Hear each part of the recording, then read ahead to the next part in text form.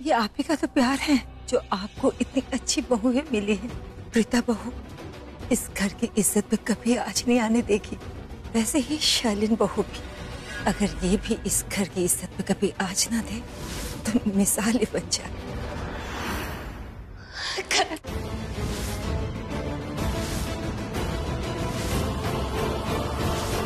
खानदान की बदनामी होगी।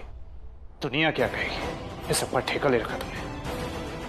मुझे कृतिका ने सब कुछ बता दिया।